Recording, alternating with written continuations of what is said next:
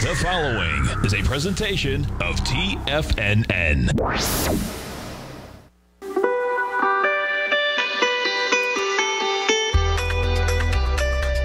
The morning market kickoff with your host, Tommy O'Brien.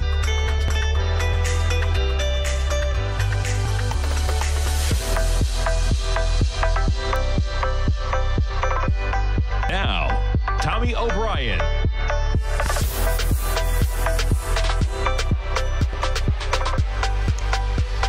Good morning, everybody. I'm Tommy O'Brien, coming to you live from TFNN, 8:30 a.m. Wednesday morning. 60 minutes to go until that opening bell, and we have markets charging higher yet again. Dow futures right now up 345 points. That's 1.4 percent in the green, trading 25,347. S&P futures 33 percent positive, positive, positive, positive, 1.1 percent, trading at 3,027. We're now almost a full percent above that 3,000 mark. Nasdaq futures up 32 points, lagging a bit. That's about a third of percent, trading at 94.39. We've got crude oil backing off a bit, down about 50 cents at 33.85. The 10-year yield ticking up 0.7 2%. And the gold contract trading lower off about $20 at 1708. Let's start things off. We'll jump over to the charts. We'll start it off with the S&P. And why not? Let's start it off with the headline of the day, the EU. So they unveil a plan to borrow 750 billion euros to aid economic recovery. That's 750 billion euros. That's about 823 to 826 billion US dollars. That's going to come in the form of grants and loans to stimulate the EU, and that is dependent in terms of which country. Italy and Spain probably receiving the most of that as they are the hardest to hit. So that news really driving markets higher. With that in mind, let's jump through the indices. There's your S&P. We back it up to where we were last night. You see the sell-off towards the end of the day yesterday. S&P's at about 29.90 at that time. Currently sitting 3,027, just off the highs we made at about 6 a.m. Nasdaq 100, a little bit of a laggard. Check it out. From 6 a.m., we've traded down from excuse me, from a high of 95.07, we're down to 94.32. You back it up, there's your close yesterday, so we're just a tad higher. We were down at about just 9,400, 9,420, somewhere in that range. Dow 30 trading higher, 25,357. Boeing, I want a story up for them. They're, they have layoffs coming. Uh, why not? We'll jump into it as we jump around.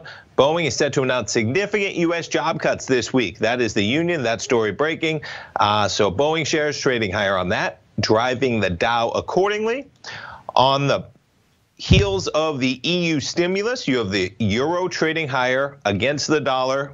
Trades above 110, right around that level now at 110.15. There's your gold contract pulling back. Gold been sliding a bit, had quite a run for gold, currently trading at 16.91 now, and crude oil just under $34 at 33.92. The other headline out there internationally Hong Kong police overwhelmed protesters, now crying independence. That playing out overnight in terms of for us over in Hong Kong. Keep your eye on that as that could uh, throw some volatility into things with China, Hong Kong, and so forth. Economic indicators this morning. Mortgage demand from home buyers shows unexpectedly strong demand, strong and quick, quick recovery. Application spikes 9% from a year ago. So mortgage applications to purchase a home also rose 9% last week from the previous week, according to the MBA. Sixth, sixth consecutive week of gains, 54% jump since April. Refinance volume has not been as strong. Those applications fell 0.2% for the week, but we're still 176%. I think that's going to be higher. Uh, no, excuse me, but we're but we're still 100. I'm not sure what they're referencing. But that story just out this morning as well. So strong economic indicators. We talked about the Boeing headline I had up. So they have layoffs. Jumping over to Boeing shares. Boeing there's your pop from 144. We're going to open it at almost 150. Some context on Boeing shares.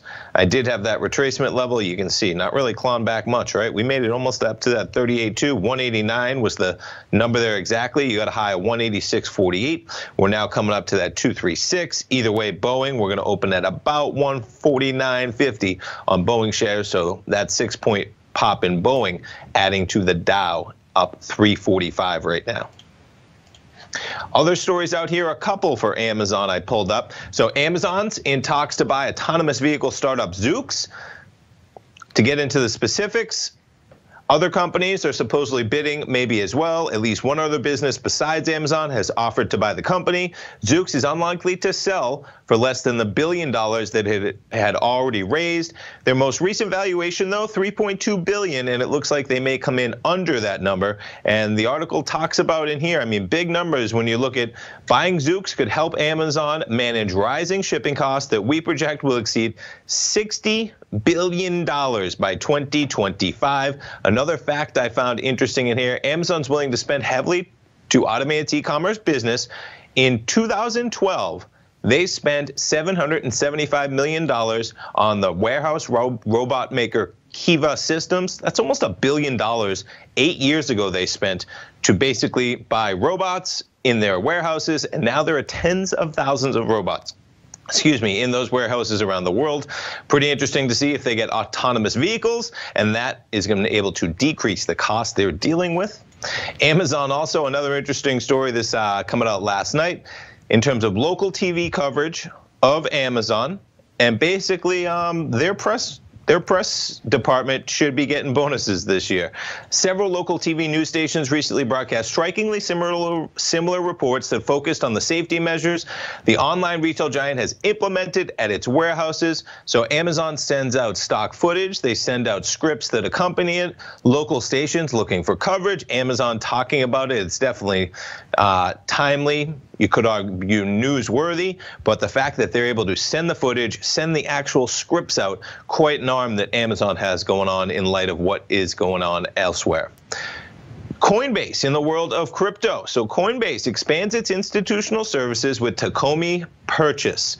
Coinbase, I myself have used this uh, exchange previously, the largest U.S. cryptocurrency exchange expanding its services for institutional investors with the acquisition of digital brokerage Tagomi. So this is a platform, pretty interesting when you get into it. The platform is able to automate crypto trades valued at millions of dollars. So they automate them as opposed to other firms still executing that type of a trade manually. Customers include family offices, crypto funds, such as Pantera, Capital, Bitwise, Multi Capital Coin. Terms of the agreement not disclosed. So here's where it really gets interesting. Tagomi started about two years ago, the backing of the Founders Fund, Collaborative Fund, Digital Currency Group, among others. Its management includes co-founder Greg Tusar, former global head of electronic trading at Goldman Sachs. Not bad. And they really talk about if you want to buy 100 million Bitcoin, we bring the tools. They're able to do those big numbers. Combine that with uh, the platform, the exchange of Coinbase, pretty powerful weapon out there. Earnings season still in effect. Papa John's, uh, they came out, their sales soared 33.5% in May. And uh, I believe this is just an update. They say they're going to come out for their numbers as well. In May, for the second straight month, Papa John's team members and franchises deliver the best sales period in the company's history. In April, preliminary estimated same store sales jumped 26.9%. Not surprising, right? Uh, same store sales shot up 33.5% in May, and that number on the heels of 26.9% in April. You jump over to Papa John's shares. Now, this is the longer term. As they said, remarkable, they sold off everything, not, not realizing everyone's going to stay home. Of course, pizza delivery is going to be a big business. And there's your pop higher on that news to about $78.99. Stay tuned, folks. Coming back, see what else we have on tap for Wednesday trading. We'll be right back. Many of our new listeners have heard about The Tiger's Den. The Tiger's Den is a lively community where professional traders and investors can meet, exchange ideas and information in a comfortable, moderated atmosphere. Hear all of the TFNN shows, plus see all of the charts as they happen live and have access to archives of all of those charts. You can test drive The Tiger's Den absolutely free for 30 days and greatly enrich your knowledge of these markets and how to make your money work for you. Details on The Tiger's Den are on the front page of TFNN.com. TFNN has launched our brand new website. You can still visit us at the same TFNN.com URL, but when you do, you'll see a new and improved homepage with a much simpler navigation, whether you're watching Tiger TV live in high definition or just accessing your newsletter subscriptions. We even have new pricing in six months and yearly options. Check out the new TFNN.com now and experience all the upgrades. TFNN.com, educating investors. The gold market has taken off topside in a large way in 2020. If you want to take advantage of this sector, now is the time to subscribe to my gold report. The gold report took profits in four of its equities in the gold portfolio in the first week of January for a combined profit of 99.2%, with two positions left in the portfolio that have a profit of 67.5% as of January 7th. The Gold Report is a comprehensive look at the metals sector as well as the markets that move gold, which is the currency and bond markets. New subscribers get a 30 day money back guarantee, so you have nothing to lose. Every Monday morning, I publish the Gold Report with coverage of gold, silver, bonds, the XAU, HUI, GDX, as well as more than 30 different mining equities. To see for yourself the types of profitable trades that are recommended within the Gold Report, sign up now by visiting TFNN.com. Don't miss out on the next great gold trade. Sign up today.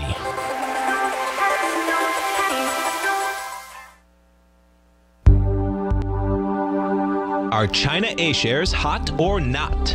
If you trade China A shares, now may be time to take a closer look. Trade CHAU or CHAD, Directions Daily CSI 300 China A Share Bull and Bear ETFs. China A shares in either direction. Visit direxioninvestments.com today. An investor should consider the investment objectives, risks, charges, and expenses of the Direxion Shares carefully before investing. The prospectus and summary prospectus contain this and other information about Direxion Shares. To obtain a prospectus or summary prospectus, please contact Direxion Shares at 866 476 7523. The prospectus or summary prospectus should be read carefully before investing. An investment in the funds is subject to risk, including the possible loss of principal. The funds are designed to be utilized only by sophisticated investors such as traders and active investors. Distributor Foreside Fund Services, LLC. Don't forget, you can listen to TFNN live on your mobile device 24 hours per day. Go to TFNN.com, then hit Watch Tiger TV. That's TFNN.com, then hit Watch Tiger TV for the latest market information.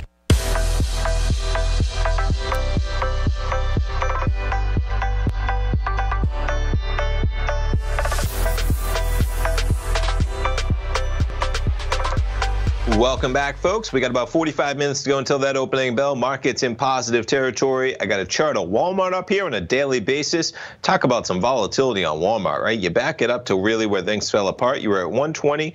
I mean, look at this roller coaster as the market tried to figure out whether this was going to be a good thing or a bad thing for Walmart as the lockdown um, was put together. People started social distancing, staying at home, quarantining and you get volatility. We trade up to a peak first of 128.08 by March 18th. You reach 133.38. That on Feb, uh, excuse me, April 20th, and then we have some volatility. We're back to about 123.75. I bring them up. The next story, interesting. Walmart striking a deal with secondhand apparel site to ramp up online fashion sales. So they struck a deal with ThredUp, secondhand seller of apparel, shoes, and accessories.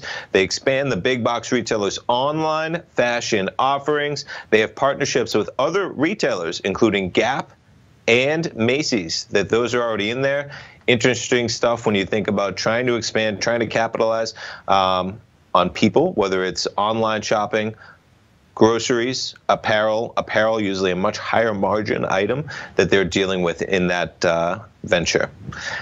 Back to commodities. So IEA, usually we get IEA, EIA, excuse me, usually we get EIA, right? Uh, yeah because the world, the IEA, said the unparalleled decline in worldwide energy investment has been staggering in both its scale and swiftness. That's the World Energy Investment Report, the annual report that they put out.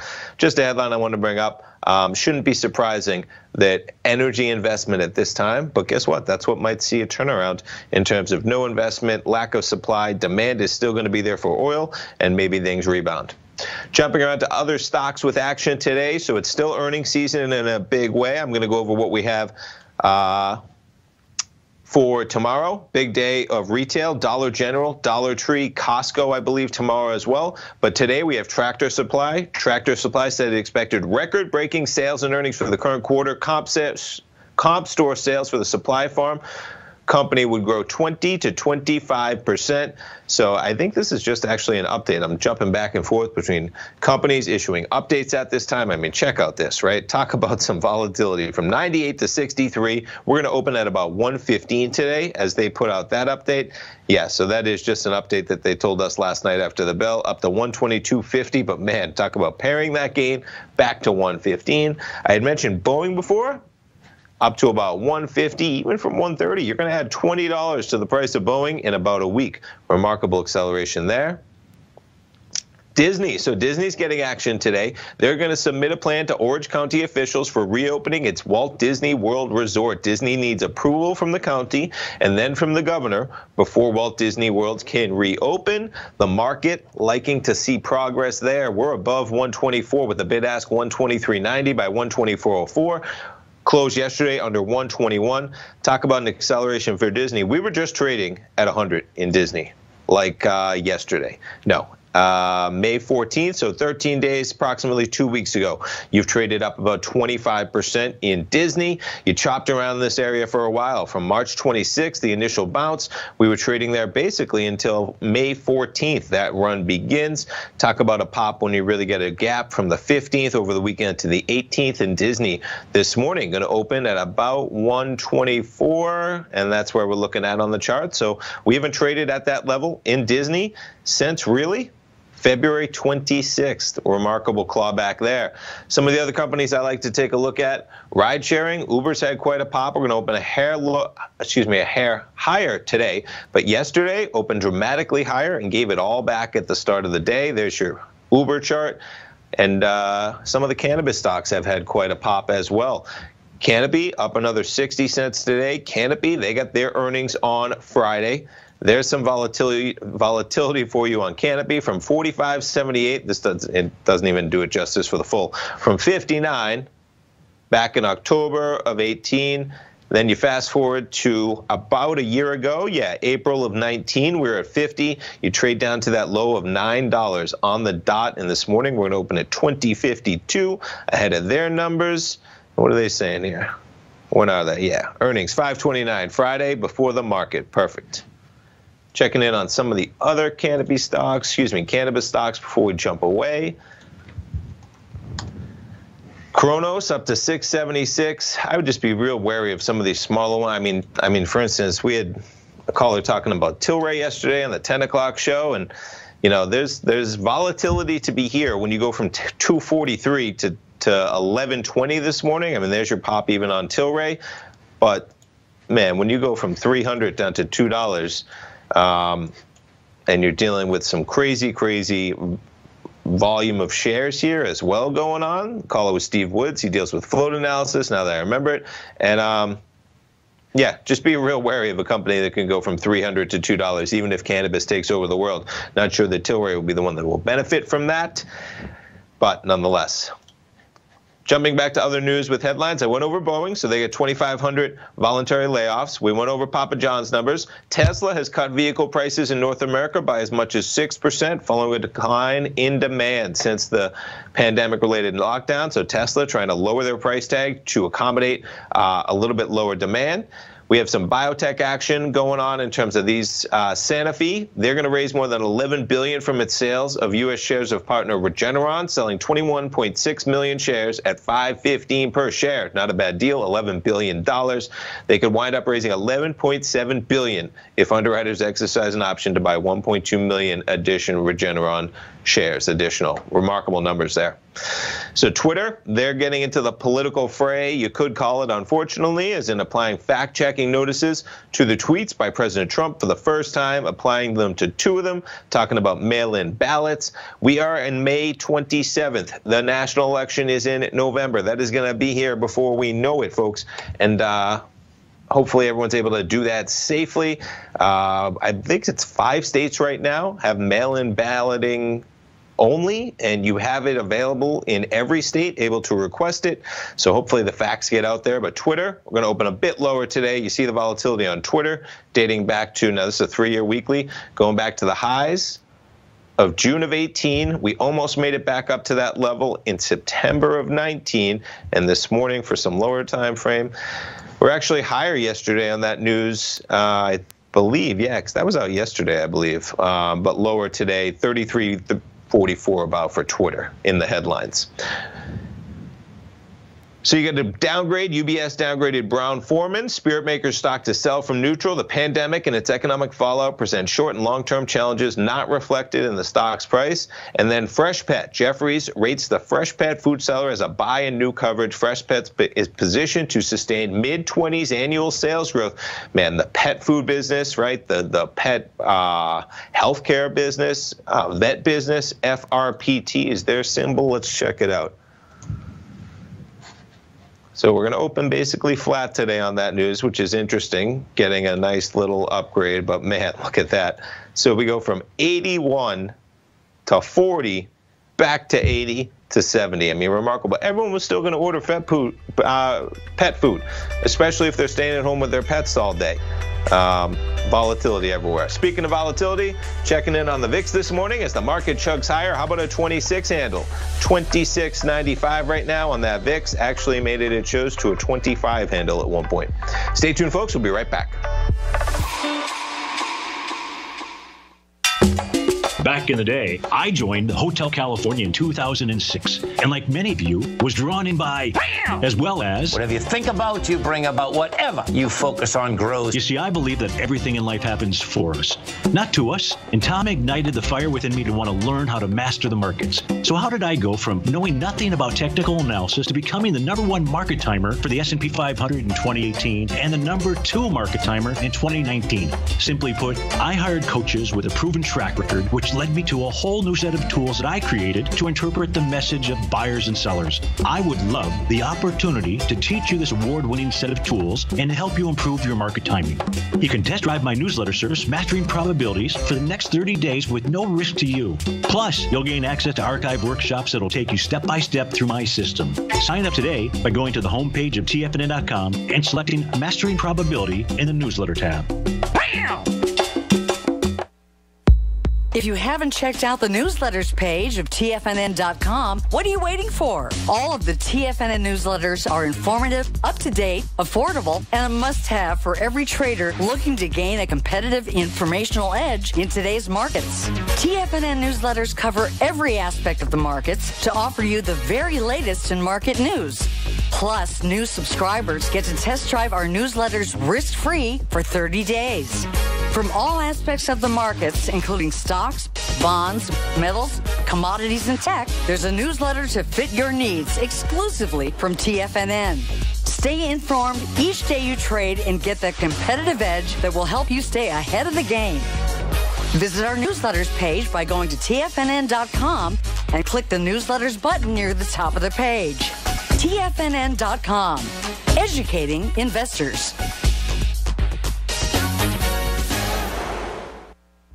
You know what's cool? Taking something that's good for you. Something specifically formulated to help with weight loss, better sleep, stress reduction, and the need to detox. Nico, our hunter and gatherer ancestors found all their nutritional requirements for health in their wild environment. But today, our food sources no longer contain the vitamins, minerals, and nutrients our bodies need to stay healthy and strong. That's why we need Primal Edge Daily Nutrition. It includes a special blend of ionic, oil based vitamins, minerals, fatty, and amino acids in an easy to use liquid form. Primal Edge is powered by highly concentrated fulvic and humic acids, nature's preferred delivery system. They have been called miracle molecules because, like sunlight, air, and water, life cannot exist without them. That's right, Paige. They ensure we receive all the nutrition we need to be healthy and thrive. We, we take, take, it, it every morning. morning. Primal Edge, formulated and approved by Nico and Paige of Living a Primal Lifestyle. Buy it today for just $89. Click on the Primal Edge banner on the front page of TFNN.com. Don't forget, you can listen to TFNN live on your mobile device 24 hours per day. Go to TFNN.com, then hit Watch Tiger TV. That's TFNN.com, then hit Watch Tiger TV for the latest market information.